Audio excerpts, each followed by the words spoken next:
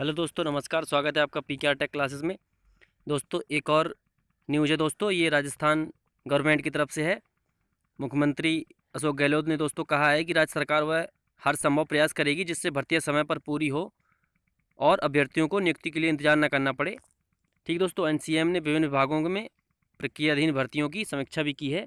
ठीक है, और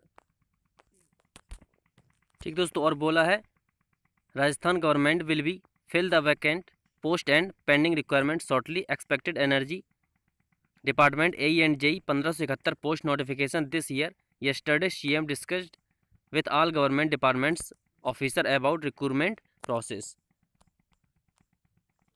और दोस्तों बोला गया, कोर्ट में अटकी भर्तियों के केस शीघ्र निपटाए जाएँ। मुख्यमंत्री ने कहा कि जो भर्तियाँ अदालतों में लंबित हैं, उनमें प्रभावी पैरवी करें, जिससे भर्ती प्रक्रिया पूरी हो सके। आरपी एससी एवं राज्य कर्मचारी चयन बोर्ड के, बोर्ड कैलेंडर के हिसाब से भर्तियाँ सुनिश्चित करें। जिन भर्तियों के परिणाम जारी हो चुके हैं, उनमें जल्द नियुक्तियाँ दी जाएँ।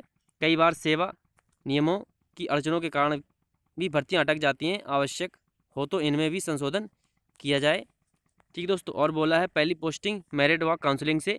गहलोत ने कहा, प्रथम नियुक्ति मेरिट व काउंसिलिंग के आधार पर ही दी जाए। बैठक में बताया गया कि इस सरकार में अब तक छप्पन नियुक्तियाँ दी जा चुकी हैं। बारह हज़ार तीन सौ इकतालीस पदों के परिणाम जारी किए जा चुके हैं। छब्बीस हज़ार पदों पर नियुक्ति के विज्ञापन प्रकाशित हो चुके हैं। ठीक दोस्तों ये भी काफ़ी इंपॉर्टेंट न्यूज़ है राजस्थान गवर्नमेंट की तरफ़ से। तो जल्दी इसमें भी ए और जे की वैकेंसी हम लोगों को देखने को मिल सकती है। तो ये काफ़ी काफ़ी अच्छी खुशखबरी है दोस्तों हम लोगों के लिए। तो निराश नहीं होना है। आप लोगों को कंटिन्यू अपनी प्रिपरेशन पर ध्यान देना है और आगे की वैकेंसी के लिए प्रिपेयर रहना है। ठीक दोस्तों, धन्यवाद।